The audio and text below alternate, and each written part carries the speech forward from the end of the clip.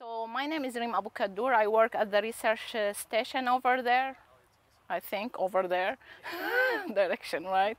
I'm plant pathologist. So uh, I am invited to talk about the history of plant disease. But uh, before I start the history, I want to talk about the most important diseases, how to manage them, and then we can jump to history when we have a bit of time. Uh, I work on uh, stripe rust and leaf spots. So I'm gonna start talking about stripe rust. You guys, uh, any of you deal with wheat or wheat diseases? So do you know what is stripe rust? Yeah. All right. So you have the, seen then the symptoms of it, right? The people before you took my sample. there. So these are uh, infected leaf to different degree with the stripe rust. Uh, you can pass it around. And this the living sample of stripe rust. And from the name of it, stripe rust, it formed this uh, uh, pustule along the leaf vine in stripes and that's why it gets its name or sometimes we call it yellow rust because it has the yellow uh, color. You guys are interested in living plants? If you pass your hands over the infected area, you get that yellow orange color into your fingers, you know that it is rust. So it's very uh, devastating disease. Uh, it's very explosive in nature. All rust are the same way.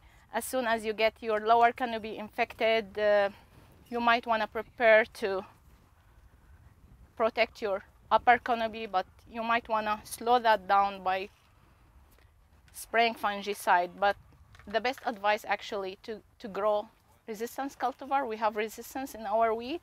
So select resistance variety and that's about the management. I'm not gonna expand much because I wanna jump into the history stuff. So if you want to have any question, you can ask me after. The other disease I like to talk about is leaf spots. I work on leaf spots quite a lot and it's not easy to distinguish leaf spots because there are spots on the leaf and there are so many things that cause spots on the leaf. Some of it pathogen, some of it physiological. How could you distinguish that? Uh, really hard, but I can give you some hint or advices to do so. Uh, basically, from pathology point of view or disease, we have three pathogens that causes leaf spots. So we have the tan spot, which is most important, I uh, believe, in Alberta and West Canada. Then we have the Stagonospora nodorum, which ranked number two. Septoria tritici, number three, is maybe probably more important to the east than to the west because it like the humidity and a bit of cool. Tan spot, I work on that for 10 years. And if you give me a leaf with symptoms and tell me that it's tan spot, I cannot tell you for sure. However, I use certain criteria to judge. So this is for sure tan spot because I infected them. the lesion take the shape of uh, oval.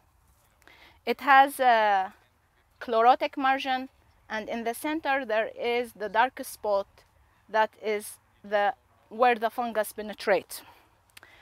Uh, tan spot the tan color because it causes necrosis, so it gives that tan necrotic color. Uh, with the advanced progression of the disease, you have the whole leaf kind of necrotic and die. Uh, septoria, uh, I have a sample of that. Uh, it's more of longitude lesion, and then if you are young enough, you might not need to see that, but you can see the Pycnidia spore. And that when you realize you are not young enough and you need to use this. Is there is and let me see, I try to see that in the first slide. Yeah, I see it now. And yes, that's fine. So those 10 and this is the only septoria. Now, uh, management advice for uh, leaf spots. Those are uh, wheat uh, like on stubble borne. So if you know that you have history with it, you might want to change your rotation. Don't grow cereal over cereal. Uh, you want to protect your upper canopy in any disease because your flag leaf and the ear contribute to 60% of your yield. Uh, with tan spot, you don't want to be as much alert as with rust because it's a little bit slower. So maybe you can get by with just protecting the flag leaf, but uh, unless you have a really a bad scenario. Uh, what other recommendation there? That's basically it. And if you have resistance cultivar, always try to consult to that. Now uh, I'm gonna jump to a bit of the history and I'm gonna talk about other disease that we kind of consider is not a big deal anymore. However, we still consider it as one of the priority diseases and we breed for it for resistance for it every year. We have nursery with thousands of lines to screen resistance for this other disease. And I'm gonna play the guessing name. You might know it, I know, so I'm not gonna ask you. Okay. Do you know what is that?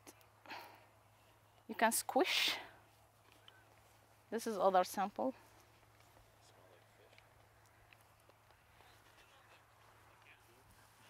Squish the thing, what you would find. Try to give me the diagnosis. Try to describe it. That's what is it. Okay, so just squish it here. Here, squish this. What do you see? Simple. Spores? Black powder. That's what I oh, see. yeah, it's spores. Not gunpowder. no. So why I give it to you? You are in the farming smarter. huh. Yeah, okay. Now, this is common bunt or smut. Okay. This is one of the most ancient diseases with rust. People recognize this long times. They have it in even in holy books like Bible where they didn't say it's bunt, but they describe plant being scalded. Uh, Blasted, Uh, and later on, in around 1800s, they talk about mildew, which meant most likely rust or bunt. Uh, with agriculture in Canada, do you know when wheat start? When we started growing wheat? Any guess? Agriculture Canada? No, in Canada. In Canada. Okay. The first grain seed to be sown in this country was somewhere near what is today known as the Roche Cap in Quebec in 1541. It was either winter wheat or fall rye. And there was, I think, a trouble with the native people that whoever sown the, that grain left the site, but there was a record of having harvest over there. It took about almost 100 years to report on, uh, I think it took more than 100 years or 200 years to report, no, 100 years to report on the first disease, which was most likely drought somewhere in the east, and then another 100 years to report on the first disease, which was described as mildew, which most likely at that time referred to rust most likely stem rust as well. So in the west, do you know when wheat started to grow?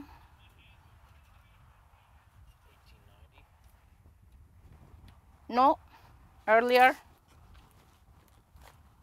Well, have you heard about Selkirk settlement in Manitoba? In the early 1800s. Lord Selkirk, who was like a new settler got that land with the Hudson Bay and they started to grow wheat.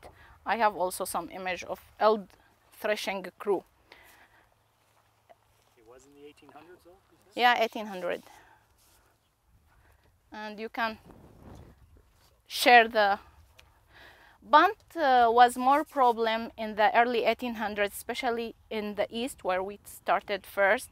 And uh, people were not sure of what is causing it whatever, but they were able to realize that it was on the seed, born on the seed.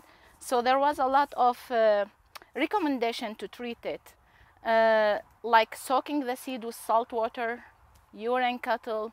Later on in the 1850, there was more of uh, serious, more experimental to that, and they started to rec- recommend the bluestone, which was the copper sulfate.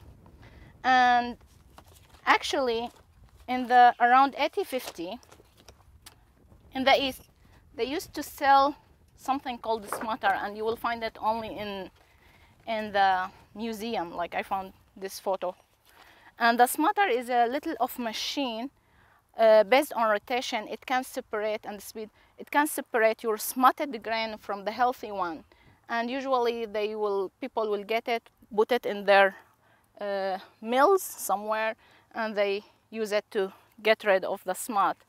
And uh, sometimes uh, it was selling actually at that time around fifty dollar.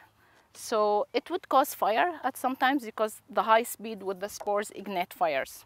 So this is an image of that smutter, and this is another uh, with experimental farm in the late 1800 and the early 1900. They moved from the recommendation of the soaking with the bluestone or the copper sulfate uh, to the formalin, and then later on, around 1950, you have the synthet like the uh, fungicide and stuff like that. So there is a long history of seed treatment.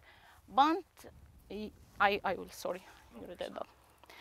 Bunt is one of these diseases that you know we consider it old, ancient because we found a treatment for it. We breed for resistance for it, which is very important, especially when you have organic farming. Because otherwise, if you don't treat your seed, you don't have resistance, this is not an ancient disease anymore. It can cause trouble.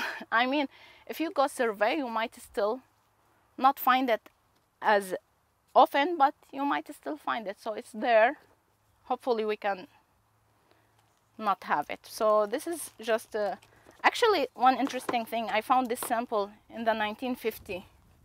I didn't touch it. I just found it in my lab, and it's uh, again bunt. You have other type of uh, of also the smut, the loose smut. So the one I show you, the covered smut. There is other fungus which cause these symptoms. This actually I found this morning one sample of it in our nursery because we don't treat seeds. And it's also seed borne. So these pathogens, ancient and could be very much recent. Uh, now the other pathogen, like the other kind of history, interesting to talk about pathology, uh, is uh, rust. Stem rust has very interesting history. In ancient civilization, there was a god for that thing. People thought that rust is punishment from God, so they have worshipped the Robigus, the Roman god. People sacrifice red fox sheep for the rust cup to keep to keep rust god happy, and they celebrated on April 25. So that's something else. No, they are two different pathogens, but they are both ancient. And we were talking about the history of diseases today, so, but yeah.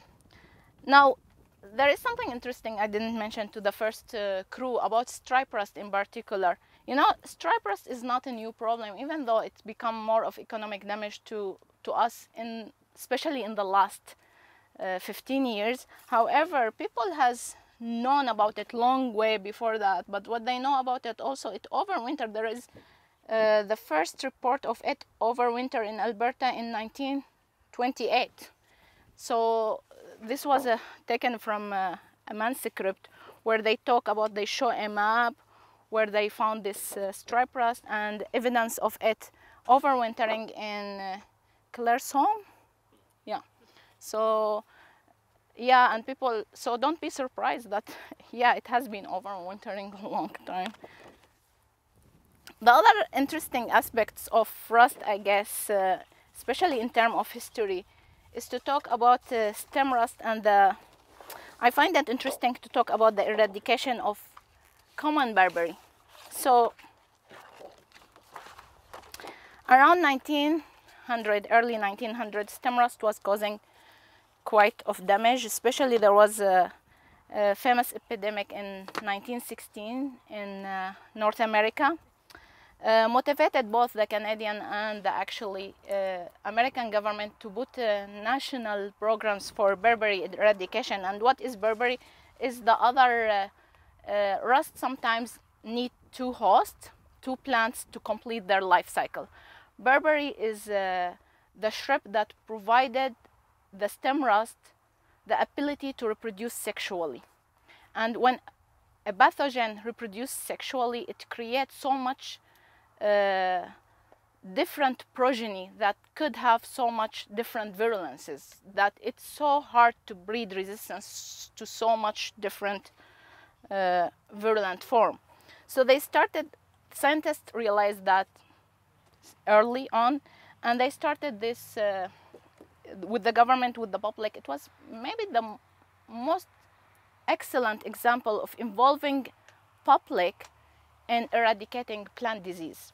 So, for example, I have this image where the government, in this case the uh, USDA in USA, sending people this postcard attached to it sample of the barberry plant, telling people that if you spot this, destroy it. If you suspect that you saw something similar to that and you are not sure, send back sample, and that people would respond back this in this case the farmer or whoever got that i have burnt and salted the, that barberry. In my lab i was looking the other day in a old box. So this eradication programs started around 1918 or 1900s and uh, i found this sample with uh, with the stem rust infecting barberry, and it said Lethbridge 1950. So I think it took a few years to eradicate the common barberry.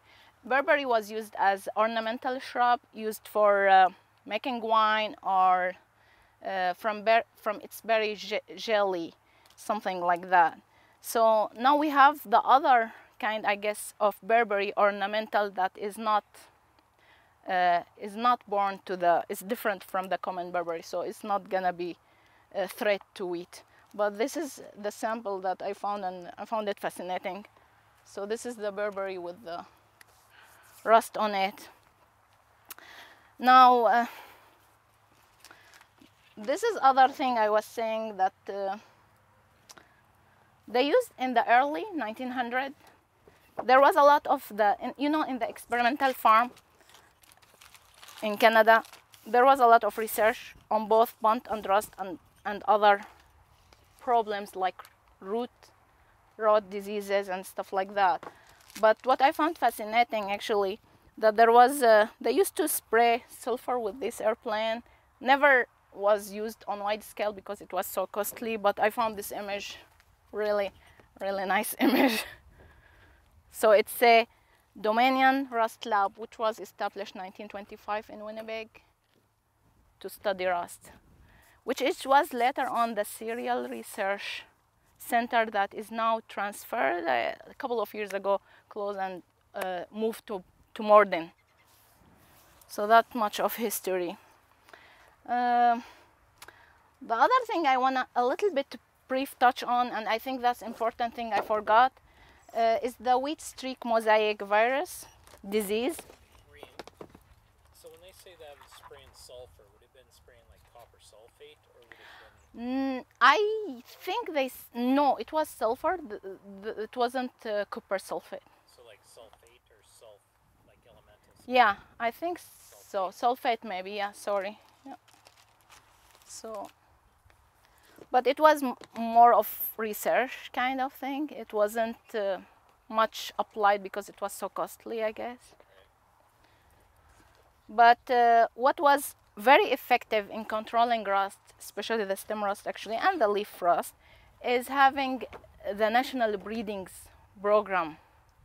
And uh, actually, since the 50, we don't have much of issue with the stem rust because breeding was very successful and because hopefully eradicating the barberry was also.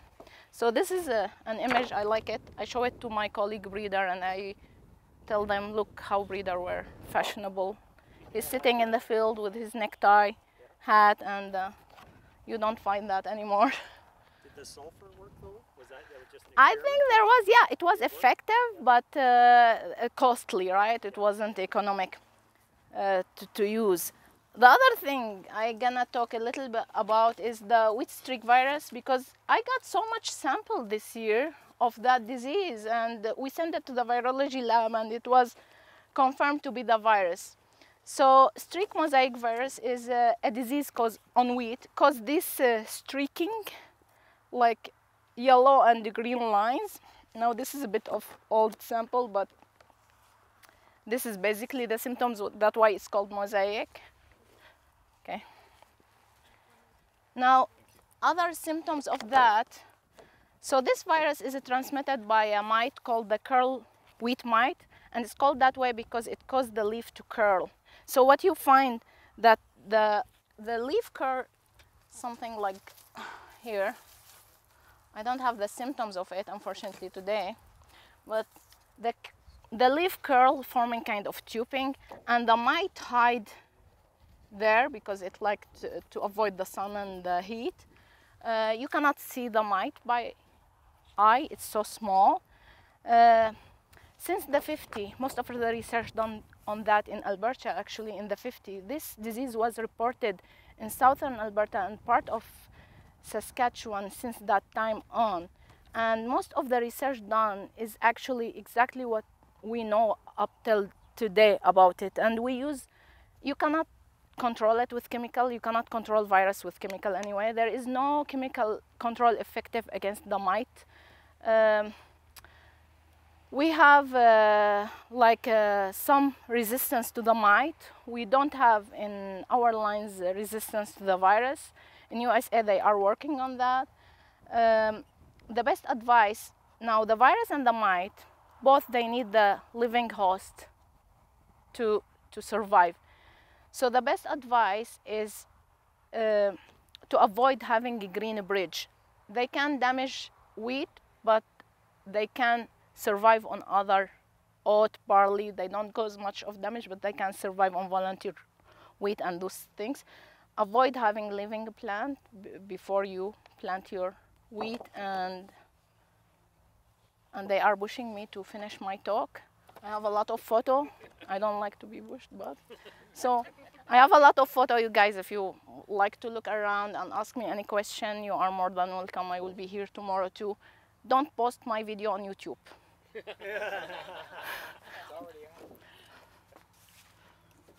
So So like over winter then, is that good enough to have? you know? Overwinter. Uh, it does overwinter. The mite and can resist uh, more freezing temperature than the hardiest winter wheat. But as long as your host, if your host doesn't survive, the virus and the mite cannot survive on a dead tissue. So avoid early planting of your winter wheat because if you plant your winter wheat early on and there is infection, it's gonna establish, might over escape the winter, so uh, like uh, survive the winter early on in the season, the infection. The mite itself doesn't fly, but it's so tricky when it's done feeding, it go climb up to the uh, head of the like the plant and hang from the tail, waiting for the wind to so it's kind of windborne actually and establish new infection cause stunt of the plant. You will walk in the field, you will feel, you will see some plants are stunt, molted with the streaking thing, and other plants are healthy. So it's kind of in, in a bucket spots. So streak mosaic virus transmitted by curl, wheat curl mite. And they come out of the winds from like Washington and stuff too, right? Uh, Not puh. Canada, is there high down there? Montana has a lot of them. I'm not sure if they survive that long distance in the wind, but uh, on a sh- from field to field they would. So If you're growing spring wheat and then you don't have a winter crop, if you have will wind, survive through the winter? You know, this is interesting. So uh, both winter and spring are susceptible, but with the likelihood of having spring wheat infected is probably less than having the winter wheat infected if you don't have that green bridge. So if your neighbor is not growing winter wheat, if your field where you want to grow the spring wheat doesn't have a green uh, other things infected, you will avoid the infection and when your plant infected at early stage it's more born to damage than when it is infected later on so all of these things so yeah green bridge avoid the green bridge they can't survive on dead tissue so you push me twice today yeah. It's because you won't be on YouTube. i have photo of your grandfather where is it You know my grandfather? Your great great grandfather. I'm gonna print it and put your name underneath it. Nice beard. yeah. This is the Rust God. He's a god. He's God. People should worship you now, give you red foxes and sheep. Oh yeah. Nice. So yeah. Okay. You're welcome guys. Thank you. Thank you.